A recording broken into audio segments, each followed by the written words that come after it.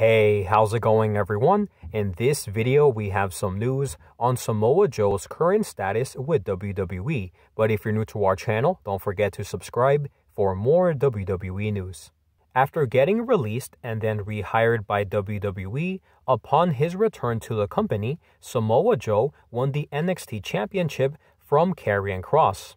However, just a few weeks after winning the NXT Championship, Samoa Joe was forced to relinquish his title due to injuries. Well, now there is a small update on his current status with WWE, because according to Dave Meltzer of the Wrestling Observer, the word within WWE is that Samoa Joe was hired primarily for a non wrestling role, which seems to be the case because Samoa Joe was recently spotted working alongside other trainers during the recent NXT tryouts at the WWE Performance Center.